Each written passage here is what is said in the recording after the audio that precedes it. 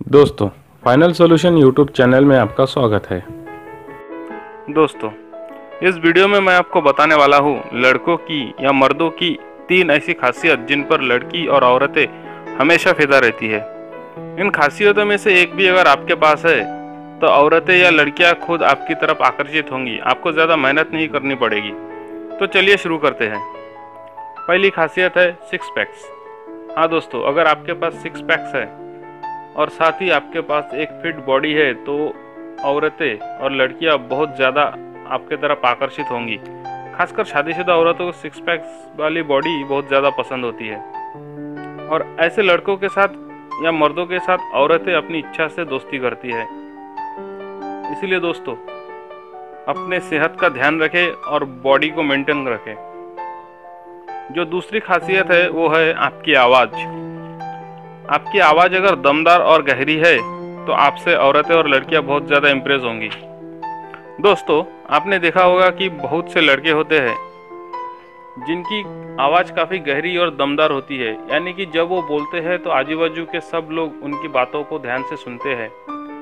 उस लड़के की एक एक बात को सुनते हैं और समझने की कोशिश करते हैं। तो दोस्तों, औरतों को और लड़कियों को ऐसी दमदार आवाज़ वाले लड़के बहुत ज़्यादा पसंद आते हैं। यानी कि आपकी आवाज़ अगर गहरी और दमदार है तो आप बहुत ही किस्मत वाले हो, क्योंकि ऐसी आवाज़ वाले मर्दों को औरतें बहुत ज़्यादा पसंद करती है। तीसरी चीज़ है, वो है आपकी हाइट हाँ दोस्तों, लड़कियों को और ख़ास करके औरतों को लंबी हाइट वाले लड़के या मर्द बहुत पसंद आते हैं। अब आप ये सोच रहे होंगे कि औरतों को लंबी हाइट वाले मर्द क्यों पसंद आते हैं?